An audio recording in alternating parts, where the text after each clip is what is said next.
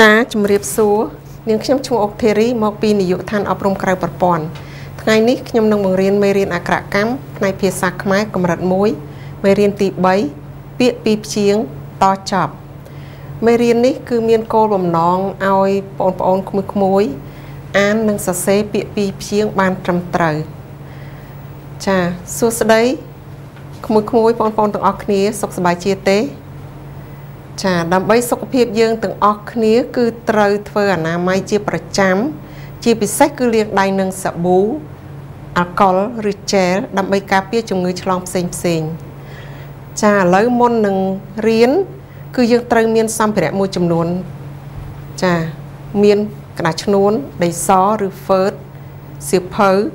ប៊ិចខ្មៅដៃចាឥឡូវទាំងអស់គ្នាត្រៀមសម្ភារៈរួចរាល់ហើយនៅ ចាចាអឺពីថ្ងៃមុនអ្នកគ្រូដាក់កិច្ចការផ្ទះឲ្យធ្វើទាំងអស់គ្នាមានបានធ្វើទេ ចាឥឡូវមើលមកក្តារខៀនមកយើងធ្វើកិច្ចការផ្ទះទាំងអស់គ្នា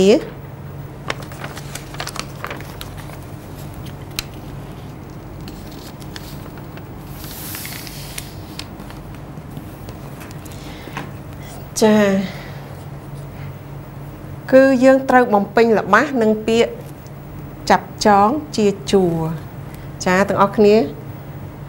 បានធ្វើហើយឬនៅមកឥឡូវយើងធ្វើទាំងអស់គ្នាណាចាអញ្ចឹងល្បះទី1ណកបាលចុចចុចចោលលួចឡាន ចាហើយល្បះទី2របស់យើងយោធាឈ ចុចចុចការពារនាវាចាម្ដងទៀតនកបាលចុចចុចចោលលួចឡានយោធាឈចុចចុចការពារនាវាចាឥឡូវល្បះទី1នេះយើងយកពីអីមកបំពេញ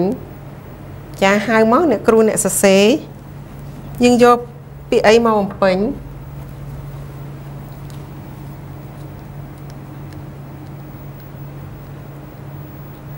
ចាយើងយកពាក្យចាប់ចងចាត្រឹមត្រូវយកពាក្យចាប់ចង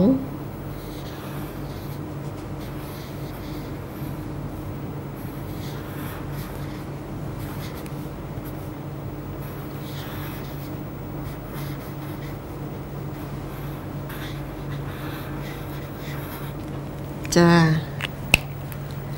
ឡូវយើងអានល្បះទី1របស់យើងមើលទាំងអស់គ្នាអានអ្នកគ្រូអ្នកចង្អុលណា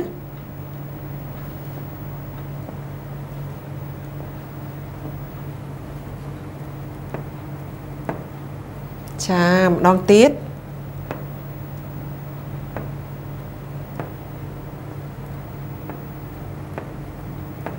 ចាល្អណាស់អញ្ចឹងល្បះទី2យោធាឈ ចាពាក្យជាជួរ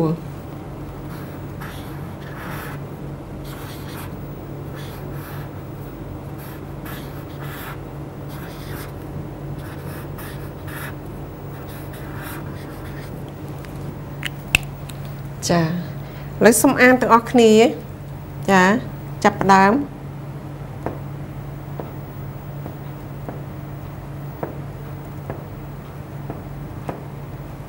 ចា ម្ដងទៀត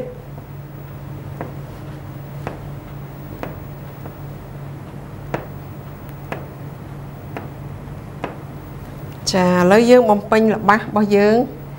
មានន័យគ្រប់គ្រាន់ហើយណាចាគឺល្បះទី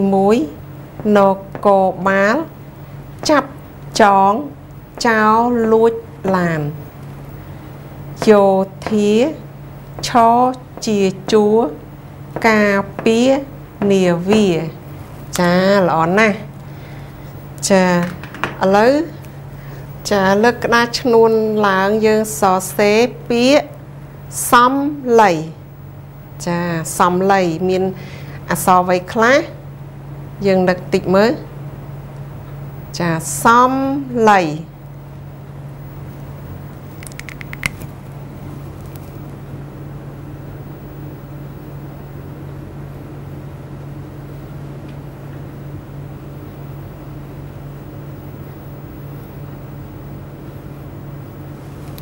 ចា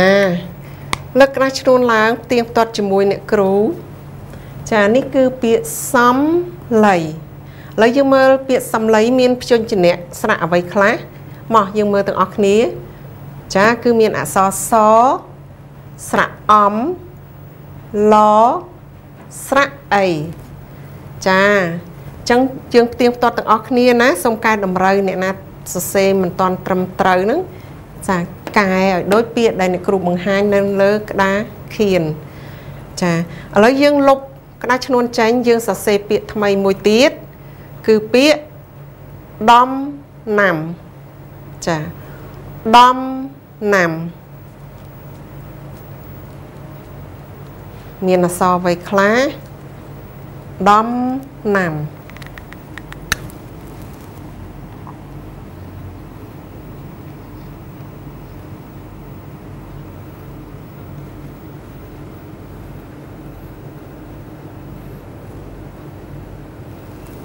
ចាសរសេរឲ្យនៅលើក្តារឈ្នួនឡើងទៀងទាត់ទាំងអស់គ្នា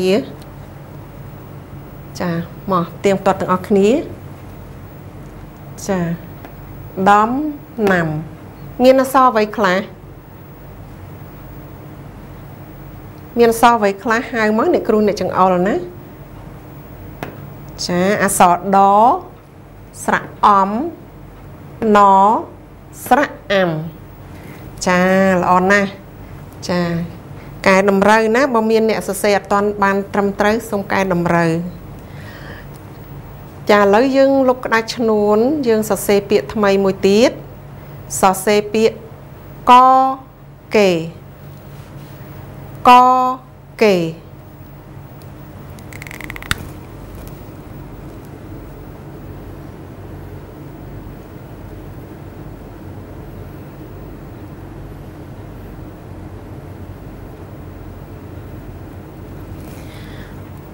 ចាលើកក្តារឈ្នួនឡើងយើងផ្ទៀងផ្ទាត់ទាំងអស់គ្នាតើក៏គេយើងសរសេរយ៉ាងម៉េចមានអក្សរអ្វីខ្លះវាមើលមើលចាមានអក្សរអ្វីខ្លះចាគឺមានអក្សរកមានស្រៈអេមានកចានិងអក្សររចាត្រឹមត្រូវចាល្អណាស់ចាឥឡូវយើងលុបក្តារឈ្នួនយើងសរសេរពាក្យថ្មីមួយទៀតណា ចាពាក្យសសេចាចាប់ផ្ដើមសរសេរចាពាក្យសសេតើពាក្យសសេមានអក្សរនិងព្យញ្ជនៈអ្វីខ្លះយើងគិតតិចមើលសសេ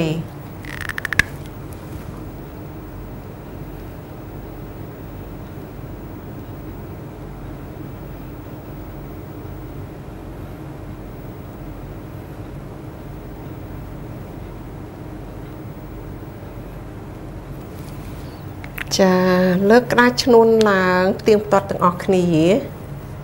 ចាអញ្ចឹងសរសេរមានអក្សរអ្វីខ្លះមកហៅមកអ្នកគ្រូចង្អុលអក្សរសមានអក្សររមានស្រៈអេអក្សរសនិងអក្សររចាល្អណាស់អញ្ចឹងអ្នកណាសរសេរមិនទាន់ត្រឹមត្រូវ ផ្លិចរផ្លិចអីហ្នឹងសុំកែតម្រូវណាឲ្យដូចពាក្យអ្នកគ្រូបង្ហាញនៅលើក្តារខៀនចាល្អណាស់ឥឡូវយើងអានពាក្យនឹងសារឡើងវិញ ចាសុំអានអ្នកគ្រូអ្នកចង្អុលណាចាចាប់ដើម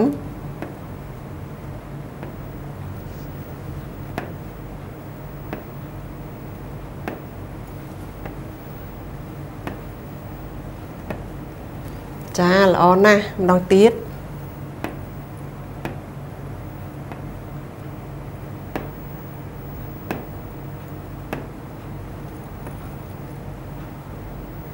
ចាល្អណាស់ចាទាំងអស់គ្នាសរសេរបានត្រឹមត្រូវចាឥឡូវអ្នកគ្រូមានពាក្យថ្មីបង្ហាញ យើងនឹងអានទាំងអស់គ្នាណាចាចាមើលមកក្តារខៀនអ្នកគ្រូមានអ្វីបង្ហាញ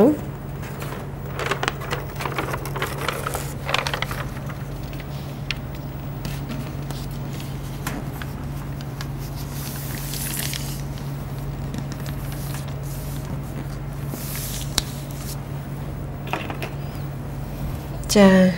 ឡូវយើងអានពាក្យណាចាំអានតាមអ្នកគ្រូជុំងឺ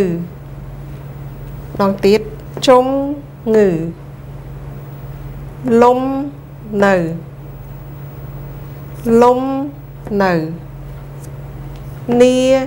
វានីវាការងារការ ងារ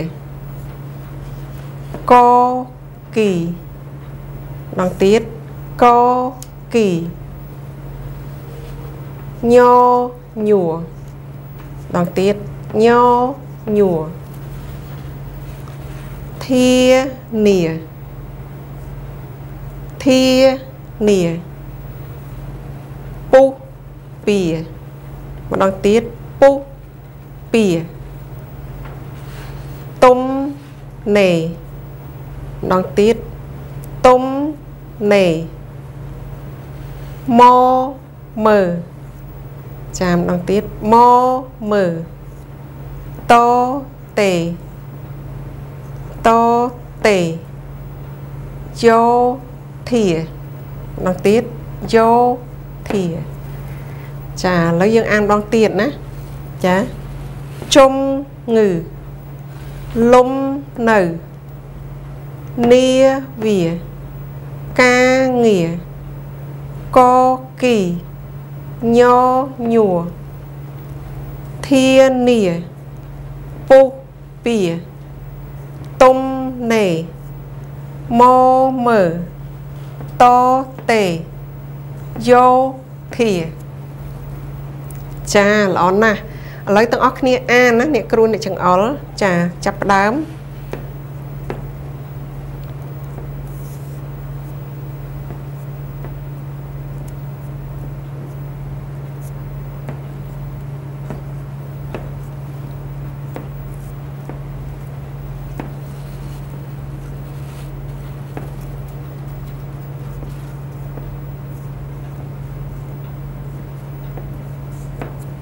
ចា ល្អណាស់ម្ដងទៀតចាចាប់ផ្ដើម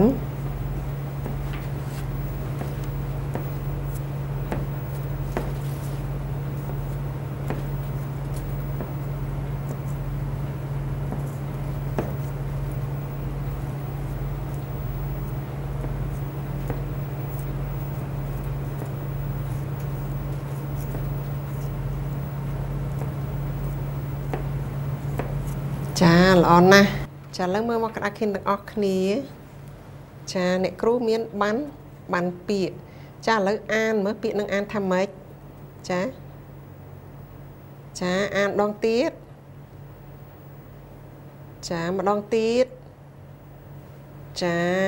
ការងារ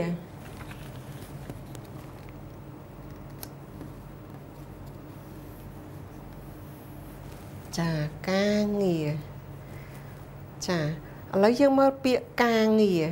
យើងស្ដាប់ទាំងអស់គ្នាការងារចាអញ្ចឹងពាក្យនឹងមានប៉ុន្មានព្យាង្គ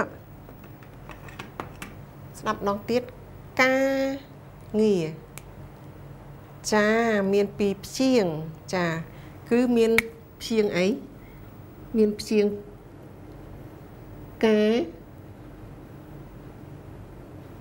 ចាព្យាង្គការព្យាង្គទី1ព្យាង្គទី2ចាព្យាង្គទី2គឺងារ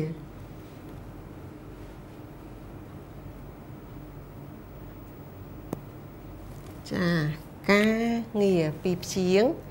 ចាអញ្ចឹងតោះតាព្យាង្គទាំងពីរនេះ ចាព្យាង្គទាំងពីរនេះ រួមគ្នា បង្កើតបានពាក្យមួយ គឺពាក្យការងារចាអញ្ចឹង ការងារមានន័យថាម៉េចមើលអ្នកណាដឹងចាការងារគឺកិច្ចដែលត្រូវធ្វើតាមមុខងាររបស់យើងម្នាក់ម្នាក់មែនទេចាអញ្ចឹងព្យាង្គទី1ការរួមជាមួយព្យាង្គទី2ងារបង្កើតបានពាក្យការងារចាចាល្អណាស់ចាឥឡូវអ្នកគ្រូមានពាក្យមួយទៀត ចាពាក្យនេះអានថាម៉េចចាអានទាំងអស់គ្នាមើលចាម្ដងទៀតចាគឺអានថាជំងឺ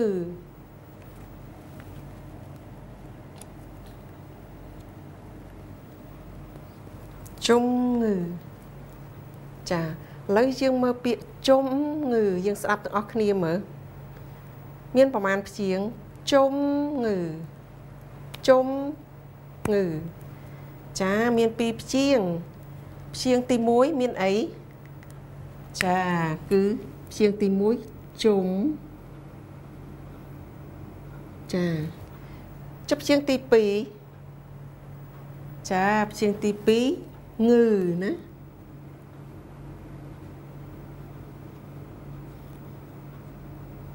ចា ចឹងព្យាង្គទាំងពីរហ្នឹងរួមគ្នាបង្កើតបានពាក្យជំងឺជំងឺមានន័យថាម៉េចជំងឺដែលឈឺមែនទេចាដែលឈឺអ្នកជំងឺគឺអ្នកឈឺចាចាឥឡូវអ្នកគ្រូមានពាក្យមួយទៀតចាមើលមកក្តារខៀនទាំងអស់គ្នាអានថាម៉េចពាក្យនេះចា ចាអានថាម៉េចចាកគីចាកគី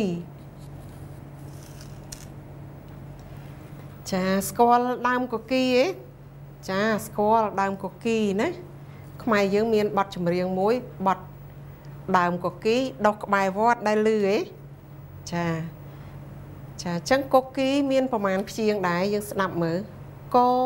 គី ចាពីរព្យាង្គដូចគ្នា ចា គឺព្យាង្គទី1ក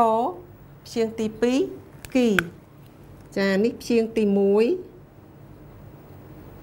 ចាព្យាង្គទី2ចាព្យាង្គទី2គឺគីចាគីនិងរអញ្ចឹងទាំងពីរព្យាង្គនេះរួមគ្នាបានពាក្យកគីចា គឺកគីសំដៅទៅដើមឈើដើមឈើម្យ៉ាងរបស់ខ្មែរយើង ចាឥឡូវនឹងពាក្យមួយទៀតចាពាក្យអីនេះចាអានមើលទាំងអស់គ្នា ចាចាប់ដើមអាន ចាម្ដងទៀតចានាវា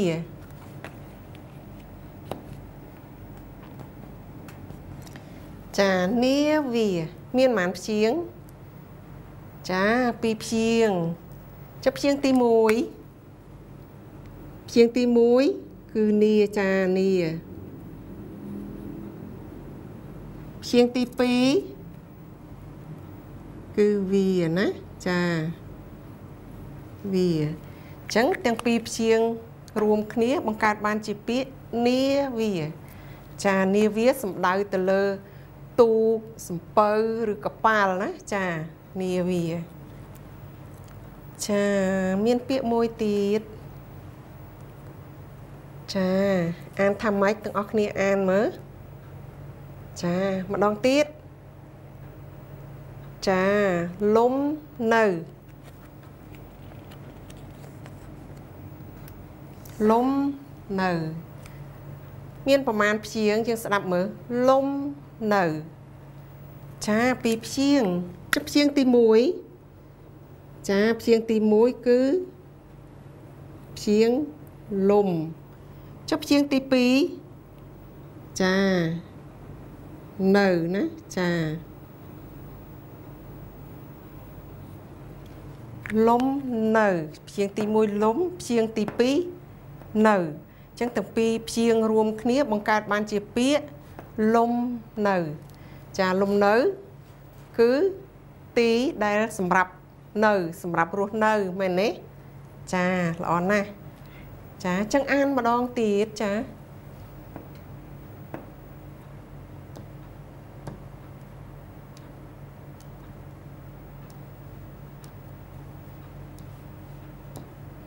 ចាល្អណាស់ចឹងថ្ងៃហ្នឹងយើងរៀនមេរៀនទី3 ចាមេរៀនទី3ពាក្យពីរព្យាង្គតចប់ចាចាអញ្ចឹងអានចំណងជើងមេរៀនជាមួយអ្នកគ្រូម្ដងទៀតមេរៀនទី3ពាក្យពីរព្យាង្គតចប់ចាល្អណាស់គ្រូមានបានពាក្យចាអានថាម៉េចទាំងអស់គ្នាអានមើលចាម្ដងទៀត ចាម្ដងទៀតចាតទូចាត្រឹមត្រូវតទូអ្នកណាខ្លះកេងទទួលភួយចាអញ្ចឹងតទូគឺសរសេរបែបនេះចាអញ្ចឹងតទូយើងមើលពាក្យតទូមានអក្សរនិងស្រៈអ្វីខ្លះចាមកមើលទាំងអស់គ្នាហៅមកអ្នកគ្រូអ្នកសរសេរឲ្យ មានអក្សរអ្វីខ្លះចាគឺមានអក្សរតចាអក្សរតមានអីទៀតមានស្រៈអូមានអីទៀតចានឹងអក្សររចាត្រឹមត្រូវតទូគឺមានអក្សរតអក្សរតអស្រៈអូហើយនឹងអក្សរ អក្សររចាឥឡូវយើងមានពាក្យមួយទៀតចាចាអានមើលពាក្យនេះអានថាម៉េចទាំងអស់គ្នា ចាអានចាម្ដងទៀតចាម្ដងទៀតចាពុះពី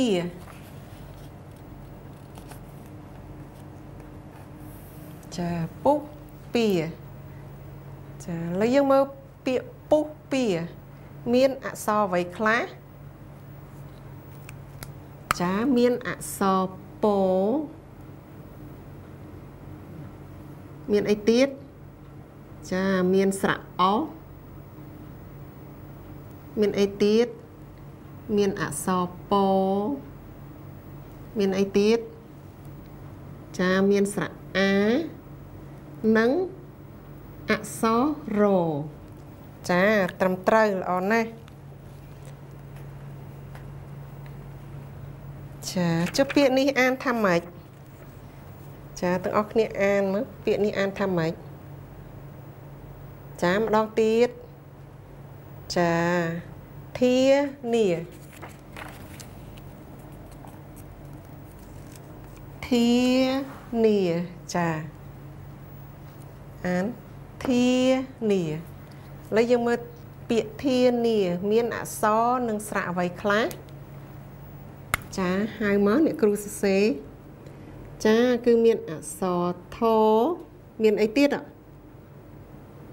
មានអីទៀតចាមានស្រៈអាមានអក្សរអីទៀតមានអក្សរណនិងមានស្រៈស្រៈអាចា ចាត្រឹមត្រូវល្អណាស់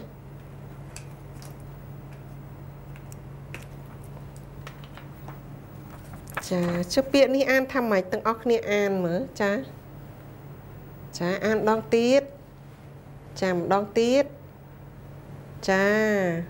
គឺពាក្យទុំណេចាទុំណេ ទុំណេមកពាក្យទុំណេមានអក្សរនិងស្រៈអ្វីខ្លះចាមានអក្សរតមានអីទៀតមានស្រៈអំមានស្រៈអេមានអីទៀតមានអក្សរណចានិងអក្សររណាចាទុំណេ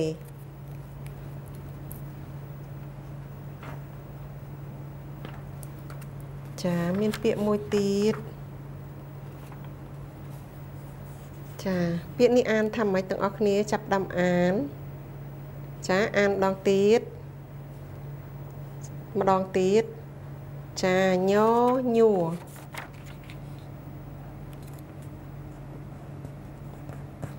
ចាញញួរមានអក្សរនិងស្រៈអ្វីខ្លះចាមានអក្សរញ មានអីទៀតមានអក្សរញចាស្រៈអ៊ូនិង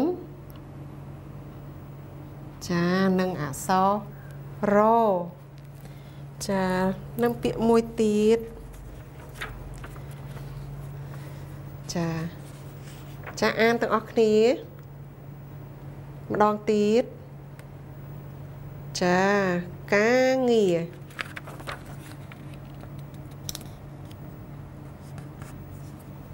ចាការងារចាត្រឹមត្រូវល្អណាស់ចាឥឡូវយើងមើលមើលការងារមានអក្សរនិងស្រៈអ្វីខ្លះចាចាគឺមានអក្សរកមានស្រៈអា មានអក្សររមានអក្សรงចាមានស្រៈអាទៀតណាចាហើយនឹងអក្សររចាត្រឹមត្រូវល្អណាស់ចាអញ្ចឹងអានពាក្យនឹងឡើងវិញអ្នកគ្រូចង្អុល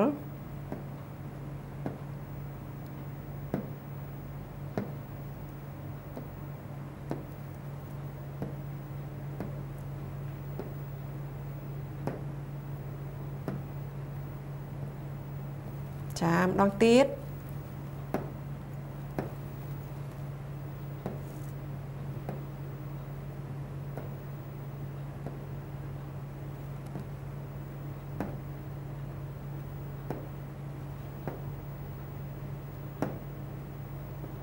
ចាល្អណាស់ចាឥឡូវយើងលើកក្តារឈ្នួនឡើងសរសេរពាក្យជុំងឺ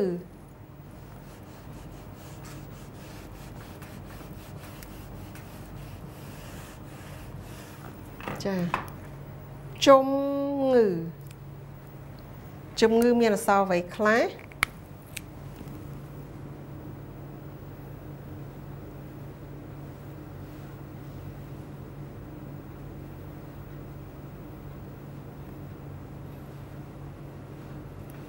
ចាលើកក្តារឈ្នួនឡើងយើងផ្ទៀងផ្ទាត់ទាំងអស់គ្នា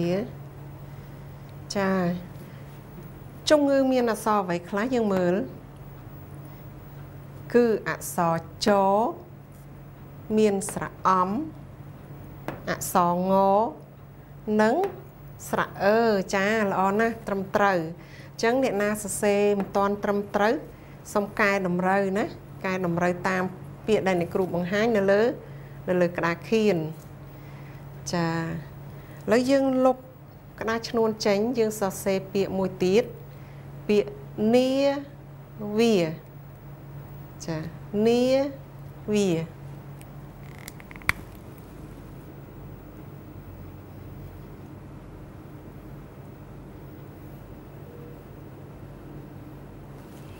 ចាលើកក្តារឈ្នួនឡើងយើងផ្ទៀងផ្ទាត់ទាំងអស់គ្នាចានីវា មានអក្សរអ្វីខ្លះយើងមើលមើលមានអក្សរណមានស្រៈអា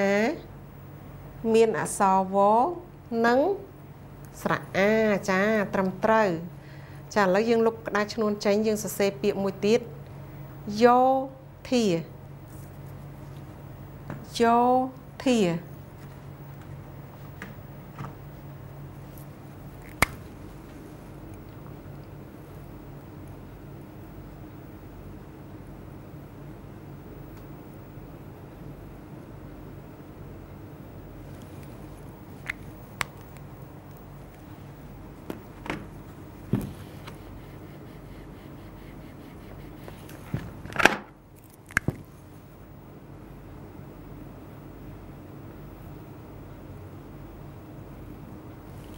ចា លើកក្រាស់ឈ្នួនឡើងផ្ទៀងផ្ទាត់ទាំងអស់គ្នាយោធាមានអក្សរអ្វីខ្លះយើងមើលមើលគឺមានអក្សរយោមានអីទៀតចាមានស្រៈអោមានថនិងមានស្រៈស្រៈអាចាល្អណាស់ត្រឹមត្រូវអញ្ចឹងអ្នកណាសរសេរមិនតន់ត្រឹមត្រូវសុំកែតម្រូវ តាមពាក្យដែលអ្នកគ្រូបង្ហាញនៅក្តារខៀនណាចាឥចាឥឡូវយើងលុបក្តារឈ្នួនចេញយើងសរសេរពាក្យថ្មីមួយទៀតគឺពាក្យតតេតតេ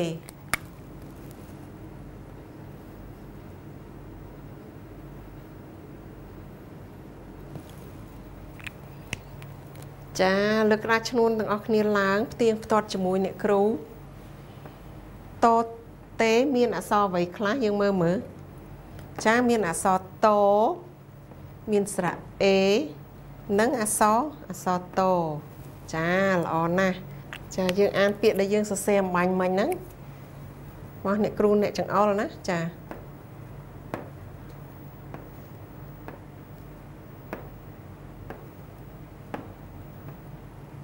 ចាម្ដងទៀត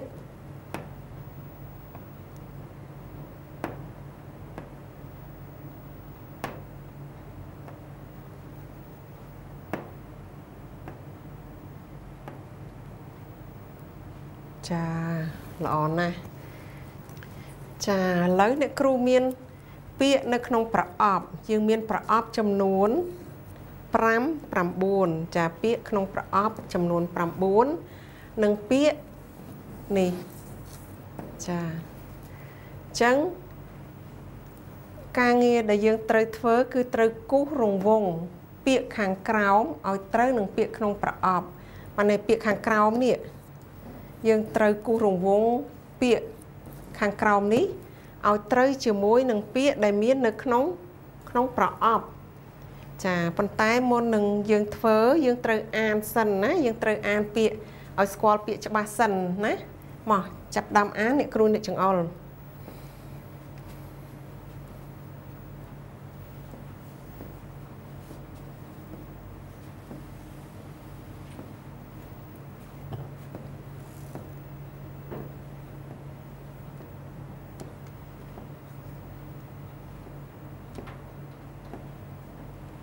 ចាម្ដងទៀត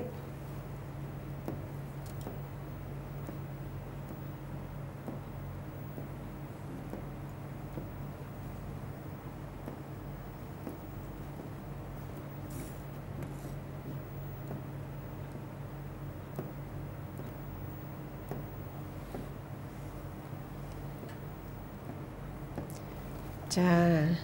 ជាពាក្យក្នុងប្រអប់របស់យើង មានពាក្យអីចាទាំងអស់គ្នាអានមើល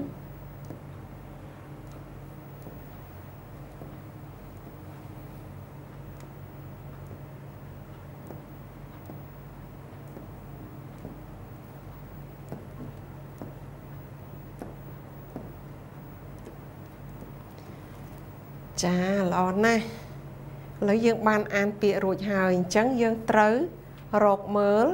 ចារកមើលពាក្យទាំងអស់នេះតើមានពាក្យណាដូចនឹងពាក្យក្នុងប្រអប់ យើងមើលតាមប្រអប់នីមួយនីមួយណាប្រអប់នីមួយនីមួយហ្នឹងតើមានដូចអត់បើមានដូចយើងគូសវងជុំវិញពាក្យពាក្យនោះចាឥឡូវ2នាទីណាអ្នកគ្រូទុកពេលជូន2នាទីឲ្យទាំងអស់គ្នាធ្វើការងារ ចាសូមចាប់ផ្ដើម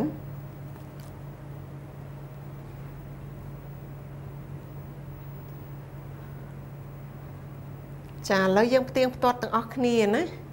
ចាឥឡូវយើងមើលពាក្យក្នុងប្រអប់ទី1តើមានទេ មានពាក្យណាដូចពាក្យក្នុងប្រអប់នេះទេ យើងមើលមើលចាមានអញ្ចឹងមាននៅកន្លែងណា យើងត្រូវគូសណា ពាក្យណាចាពាក្យធានាអញ្ចឹងយើងត្រូវគូសណាចា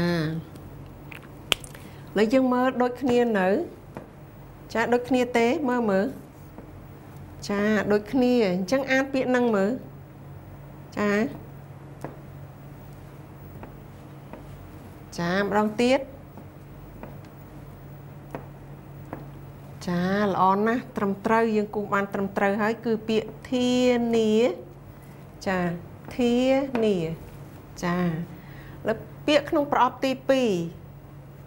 ពាក្យក្នុងប្រអប់ទី2ពាក្យអីចាតទេអញ្ចឹងតទេនៅកន្លែងណាយើងមើលមើលល្អណាស់យើងត្រូវគូពាក្យនេះណាចាអញ្ចឹងយើងមើលមើលត្រូវគ្នាឯង ចាត្រូវគ្នាអញ្ចឹងយើងអានមើលចាចាម្ដងទៀតចាល្អណាស់គឺពាក្យតតេតតេចាប្រអប់ទី3ប្រអប់ទី3ពាក្យអីចាពុះពៀអញ្ចឹង យើងគូសរង្វង់ជុំវិញពាក្យចាពាក្យពុះពៀ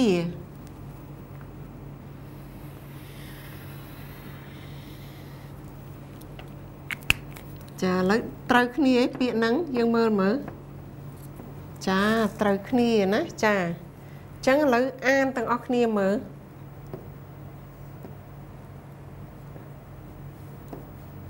ចាម្ដងទៀត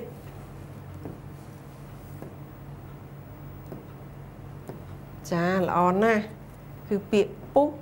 ពៀពុះពៀចាឥឡូវប្រអប់ទី4ពាក្យអីប្រអប់ទី4ចាកគីកគីអញ្ចឹងយើងគូសណា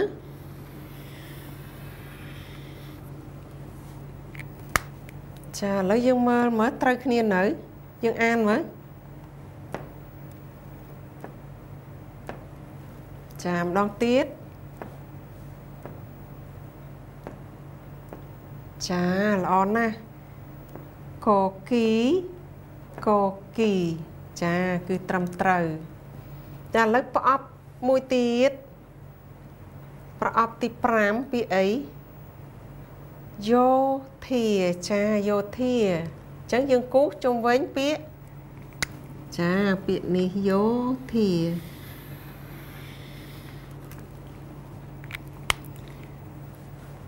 ត្រូវគ្នានៅយើងមើលមើលចាត្រូវគ្នាហើយអញ្ចឹងអានអានពាក្យទាំងអស់គ្នាចាប់ដើមចាម្ដងទៀតចាយោធាយោធាចាប្រអប់ទី5មួយចាគឺពាក្យនាវារកឃើញនៅពាក្យនាវា ចាអញ្ចឹងរកឃើញហើយយើងគូសជុំវិញមកចាឥឡូវយើងអាន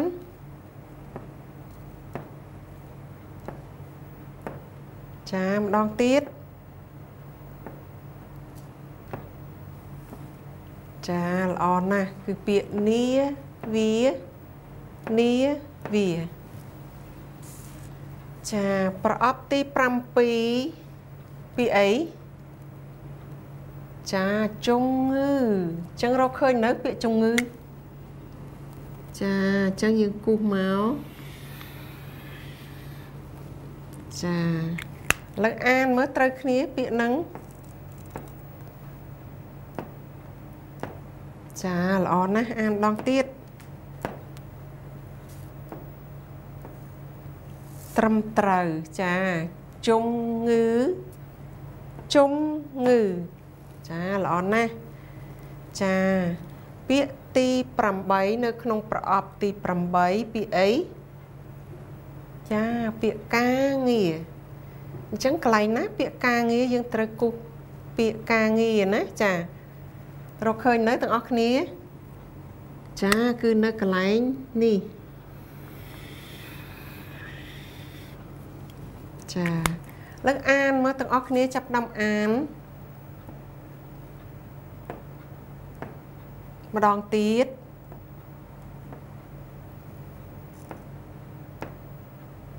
ចាការងារការងារចាល្អណាស់ចាពាក្យចុងក្រោយ ពាក្យចុងក្រោយពាក្យអីចាលំនៅចាលំនៅនៅកន្លែងណាយើងមើលមើលគូសនៅពាក្យណាចាគឺពាក្យនេះលំនៅ ចាចាលើអាននោះទាំងអស់គ្នាចាម្ដងទៀតចាម្ដងទៀតចាត្រឹមត្រូវណា គឺពាក្យលំនៅលំនៅ ចាល្អណាស់ចាឥឡូវយើងមានល្បះ3 ចាឥឡូវស្ដាប់អ្នកគ្រូអានល្បះទី1ណាបូនណាជាចុចចុចគុំរូនៅចុចចុចរៀនក្នុងភូមិយើងឥឡូវយើងមើលមើលល្បះទី1នេះអឺស្ដាប់បានទេម្ដងទៀតណាបូណាជា គុំរូនៅចុចចុចរៀនក្នុងភូមិយើង ចាអញ្ចឹងយើងយើងស្ដាប់បាននៅរបស់ហ្នឹងចាស្ដាប់អត់តាន់បានទេអញ្ចឹងយើងធ្វើម៉េចយើងត្រូវរកពាក្យមកបំពេញចាត្រឹមត្រូវយើងត្រូវរកពាក្យមកបំពេញដើម្បីឲ្យคล้ายជាល្បះដែលមានន័យស្ដាប់បានគ្រប់គ្រាន់ណាចាឥឡូវល្បះទី2តា តាសំជា ជាអីអាកន្លែងហ្នឹងតាសំជាល្បះទី3សុខាកើតនៅខែចិចចិចខែអីចាគឺយើងត្រូវបំពេញណាបំពេញដើម្បីឲ្យខ្លាចជាល្បះដែលមានន័យចាអញ្ចឹងនៅខាងលើនេះគឺមានពាក្យសម្រាប់ឲ្យទាំងអស់គ្នា ជ្រើសរើសយកមកបំពេញនៅក្នុងល្បះនេះដើម្បីឲ្យល្បះស្ដាប់ស្ដាប់បាន ចាមានពាក្យអីខ្លះមើលអានចាទាំងអស់គ្នាអានមកអ្នកគ្រូចង្អុល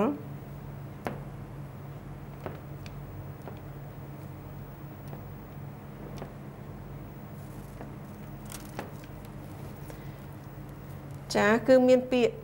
សាលាកុមាសីហា ហោរាចាម្ដងទៀតសាលាកុមាសីហាហោរាចាឥឡូវទាំងអស់គ្នាអានម្ដងទៀតមើល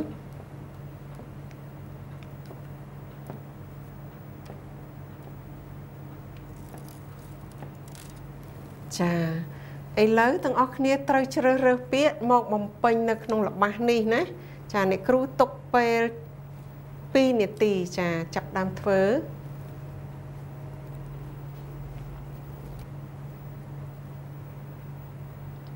ល្បះទី1យើងបំពេញពាក្យអីណោះ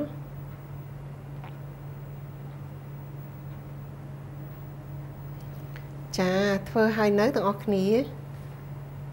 ចាឥឡូវមកផ្ទៀងផ្ទាត់ជាមួយ អ្នកគ្រូណាចាចាឥឡូវមកផ្ទៀងផ្ទាត់ជាមួយអ្នកគ្រូចារបស់ទី1នេះយើងយកពាក្យអីមកបំពេញបូណាជាគំរូជាអីបូណាជាកន្លែងនេះយើងបំពេញពាក្យអីចាបំពេញពាក្យកុមាអញ្ចឹងយើងសរសេរមកកុ មា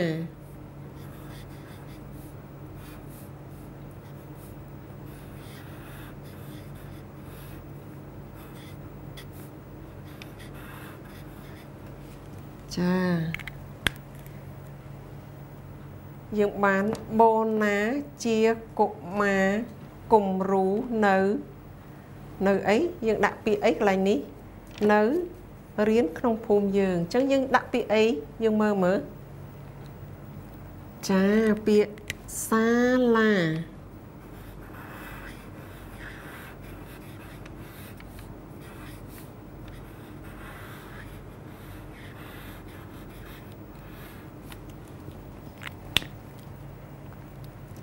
ចាឥឡូវល្បះទី1របស់យើង ស្ដាប់បាននៅយើងអានទាំងអស់គ្នាមើលបូណាជាកុមារគំរូនៅ សាលារៀនក្នុងភូមិយើងចាម្ដងទៀតបូបូណាជាកុមារគំរូនៅសាលារៀនក្នុងភូមិយើង ចាឥឡូវអានដល់ខ្លួនឯងអ្នកគ្រូអ្នកចង្អុល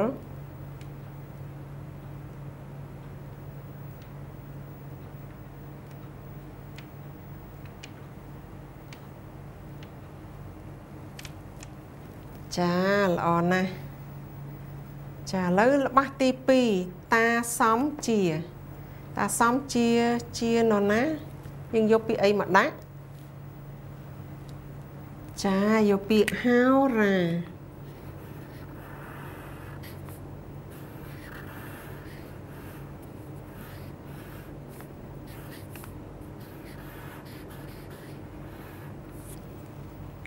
ចាឥឡូវយើងអានរបស់យើងមើល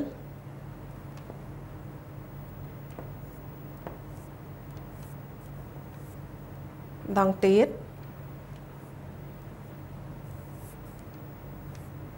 ចាល្អណាស់អញ្ចឹងល្បះទី3របស់យើងសុខាកើតនៅខែ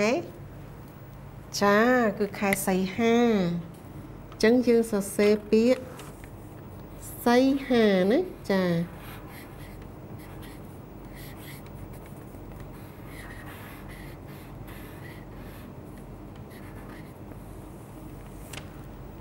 ចាឥឡូវយើងអានរបស់យើងមើល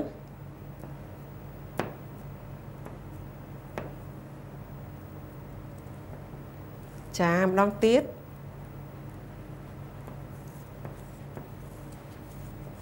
ចាល្អណាស់ឥឡូវយើងបំពេញរបស់យើងរួចរាល់ហើយឥឡូវអានទាំងអស់គ្នាសារឡើងវិញណាចាឥឡូវអានជាមួយអ្នកគ្រូសិនបូណាជាកុមារគំរូនៅសាលារៀនក្នុងភូមិយើងតាសំជាហោរាសុខា កើតនៅខែសីហាចាម្ដងទៀតបូណាជាកុមារគំរូនៅសាលារៀនក្នុងភូមិយើងតាសំជាហោរាសុខាកើតនៅខែ សីហាចាល្អណាស់ឥឡូវអាននៅខ្លួនឯងណាអ្នកគ្រូអ្នកចង្អុល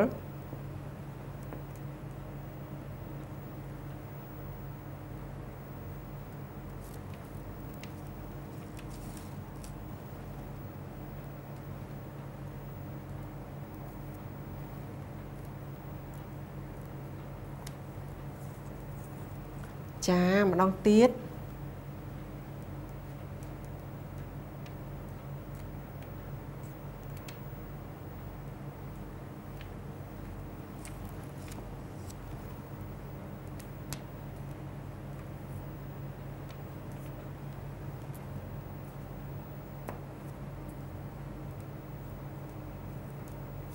ចាល្អណាស់ចាអញ្ចឹងឥឡូវទាំងអស់គ្នាយកសិភៅសរសេរយើងមកយើងសរសេរពាក្យបូណាជា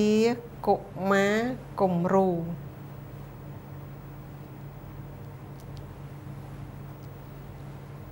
ចាយកសិភៅទាំងអស់គ្នាមកសរសេរ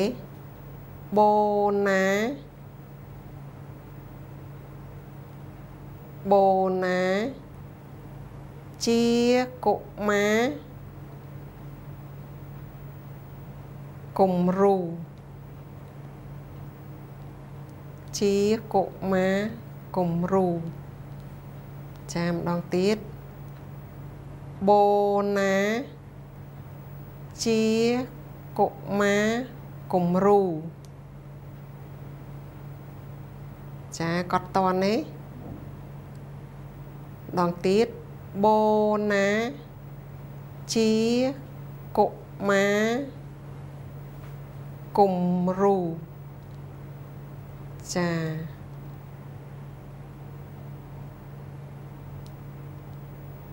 មួយទៀតយើងសរសេរពាក្យមួយទៀតសរសេរពាក្យ ជាជួរម្ដងទៀតឆ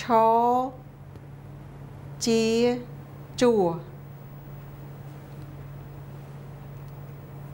ឆជាជួរចាយើងកត់ដាក់ស្ពើទាំងអស់គ្នាហើយម៉ោងក្រោយ ថ្ងៃក្រោយបាននេះស្អែកយើងជួបគ្នាយើងនឹងកែទាំងអស់គ្នា